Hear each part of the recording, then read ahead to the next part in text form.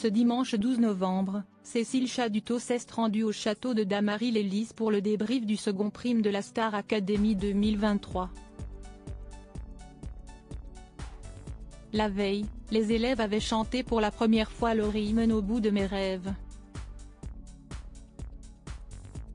Lors du prime diffusé sur TF1, la chanteuse Jennifer a interprété son tube Ma Révolution avec Lenny, la Benjamine de la saison.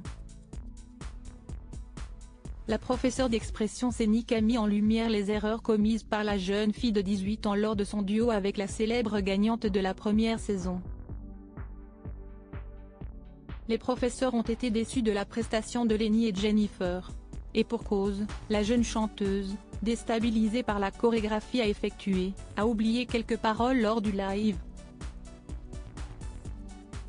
Mais ce n'est pas la seule, comme l'a confirmé Jennifer Anikos, elle aussi a eu un moment de flottement.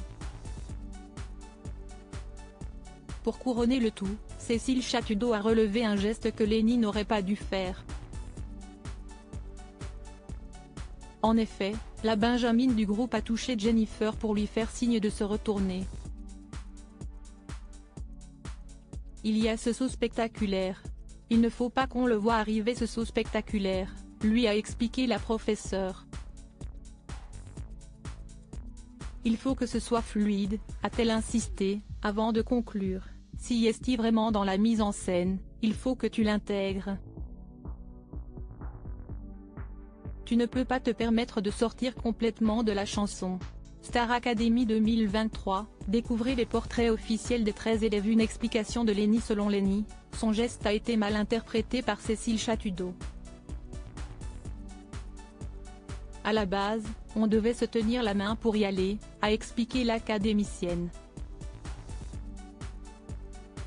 Mais en voyant les images, Lenny a reconnu que son geste paraissait déplacé, quand on le voit comme ça, on dirait qu'un gros, j'ai envie de lui dire, viens vite, on se met en place, mais ce n'est pas du tout ce que je voulais faire, je voulais lui donner la main, s'est-elle justifiée?